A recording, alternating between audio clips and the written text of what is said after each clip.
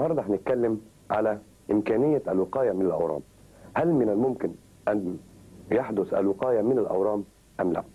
الحقيقة لما نيجي نتكلم على الوقاية بالنسبة لأي مرض في عندنا نوعين من الوقاية. الوقاية الأولية اللي هي primary prevention والوقاية الثانوية اللي هي secondary prevention ال primary prevention أو اللي هي الوقاية الأولية المفروض إن إحنا بنحاول نمنع حدوث هذا المرض. دي مطبقة طبعا على معظم الأمراض اللي هي فيها عدوى سواء ببكتيريا أو ب- بأي ميكروب. إنما بالنسبة للأورام هي الحقيقة صعبة شوية. إنما في لاحظنا إن في حاجات ربما إنها بتساعد على حدوث هذه الأورام ربما لو إن إحنا بنتجنبها بنقدر إن إحنا نقلل نسبة الإصابة بالأمر- بالأورام. من ضمن الحاجات اللي إحنا وكثر الكلام عليها كتير اللي هو التدخين. طبعا التدخين إحنا لاحظنا إن هو بيصاحب أو بيصاحبه زيادة كبيرة في الإصابة بالأورام. دي نمرة واحد. الحاجة الثانية طبعا الكحوليات. الكحوليات دي طبعا من الحاجات اللي هي بتساعد على الإصابة بالأورام وخاصة أورام الفم واللسان والبلعوم. آه الحاجة اللي بعد الحاجة الثانية اللي هي المواد الحافظة.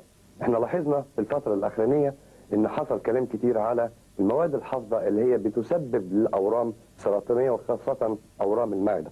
الحقيقة زيادة ال- المواد الحافظة عن نسبة معينة بتساعد على حدوث مثل هذه الأورام.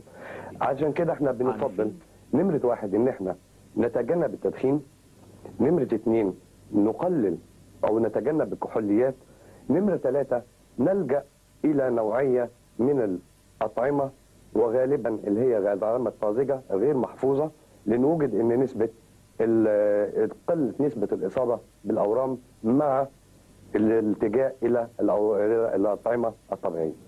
آه، الزيادة في فيتامين اي طبعا في بعض ال- ال- ال- ال- الموجود في كثير من من الأطعمة آه، زيادة الخضروات.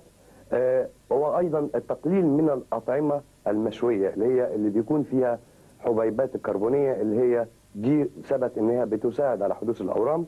زائد التخزين الصحي طبعا دي مش هتبقى بالنسبة للمشاهد إنما دي من السياسة العامة. التخزين الصحي بالنسبة للحبوب وما شابه مع تمنياتي بالشفاء